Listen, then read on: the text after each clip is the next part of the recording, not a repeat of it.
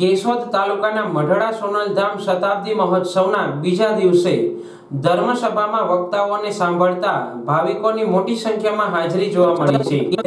કેશોદના મઢડા ગામે સોનલધામ શતાબ્દી મહોત્સવની ઉજવણીના બીજા દિવસે સવારથી જ મોટી સંખ્યામાં ભાવિકો ઉમટી પડ્યા હતા અને સોનલ આઈમાના દર્શનનો લાભ લઈ ધર્મસભામાં હાજરી આપી હતી. આ શતાબ્દી મહોત્સવના બીજા દિવસે યોજાયેલી ધર્મસભામાં પ્રાસલાના સ્વામી ધર્મબંધુજી, કથાકાર જિજ્ઞેશ દાદા, દંતાલી આશ્રમના સ્વામી સચ્ચિદાનંદજી સહિતના અનેક મહાનુભાવોના હાજર રહેતા તેમનું શાલ ઓઢાડી સન્માન કરવામાં આવ્યું હતું. આ ધર્મસભામાં ઉપસ્થિત પ્રખ્યાત વક્તાઓ દ્વારા વક્તવ્ય આપવામાં આવતા મોટી સંખ્યામાં ભાવિકોએ લાભ લીધો હતો. મારું નામ છે મારું વિવેક. હું બાટવા શહેરથી આવું છું. અને જુનાગઢ જિલ્લાના મણોદર તાલુકાના બાટવા શહેરથી અમે સોનલમાના દર્શન કરવા અત્યારે આવ્યા છીએ. અહીંયા મહા મહોત્સવ છે, એટલે અમે સોનલમાના દર્શન કરવા આવ્યા છીએ. અત્યારે સવારના અમે આવ્યા. હવે પછી અમે સાંજના અહીંયાથી હરી ફરીને જાશું. અત્યારે મહાભવ્ય ઉત્સવ છે, એટલે કે અમે સોનલમાના જન્મ મહોત્સવ હોવાથી અહીંયા અમે દર્શન કરવા આવ્યા છીએ.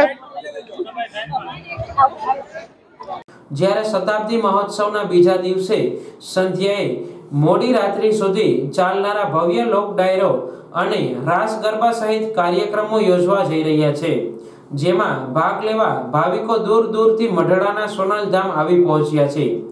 ત્રિદિવસીય શતાબ્દી ઉજવણી પ્રસંગના ત્રીજા દિવસે રાજ્યપાલ આચાર્ય દેવવ્રત સહિતના મહાનુભાવો રહેવાના છે. આ શતાબ્દી મહોત્સવના પ્રસંગે પ્રખ્યાત કથાકાર જિજ્ઞેશ દાદાએ રામ મંદિર પ્રાણ પ્રતિષ્ઠાને લઈ ભગવાન શ્રી રામ તેમજ નિજ મંદિરમાં પધારવાના જ છે.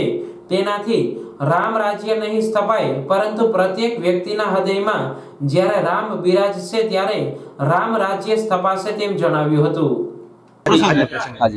રાધે રાધે જય માતાજી. સોનલધામ મઢડાના દિવ્ય પ્રાંગણમાં આજે બહુ આટલો ભવ્ય અને દિવ્ય પ્રસંગ જ્યારે મા સોનબાઈની શતાબ્દી મહોત્સવ ઉજવાઈ રહ્યો છે. અને સૌ ચારણ સમાજ એક માત્ર ચારણ સમાજ જ નહીં, બધા સમાજના લોકો આ કાર્યક્રમમાં જોડાયા છે અને અહીંયાથી એક બહુ મોટો સંદેશો મળી રહ્યો છે કે માં સોનબાઈમાં જે એજ્યુકેશન માટે જે ઉપદેશ આપ્યો હતો, એ ઉપદેશ સાર્થક થતો હોય એવો અહીંયાથી આજે દર્શન થઈ રહ્યા છે. આજના પ્રસંગે સૌને, અહીંના આયોજકોને અને અહીંના તમામ વોલેન્ટિયર્સ ભાઈઓને જે પણ સમાજ સેવક છે એ બધાને મારી શુભકામના કે આટલો દિવ્ય પ્રસંગ તમે સમાજને એક સંદેશ આપવા માટે કર્યો છે. ધન્યવાદ રાધે રાધે. દાદા રામ મંદિર બનવા જઈ રહ્યું છે પ્રતિષ્ઠા એની થવા જઈ રહી છે એને લઈને શું? રામ મંદિર નિર્માણ થવા જઈ રહ્યું છે. બાવીસ જાન્યુઆરીએ ભગવાન રામલલ્લાજી મંદિરમાં પધારવાના છે. પણ મેં હંમેશા વ્યાસપીઠથી કહ્યું છે કે રામ મંદિર અયોધ્યામાં નિર્માણ થાય ને એમાં એક પ્રતિમા પધારે એનાથી રામ રાજ્ય નહીં આવે. દરેક હિન્દુના હૃદયમાં રામ પ્રગટે તો રામ રાજ્યની સ્થાપના થશે.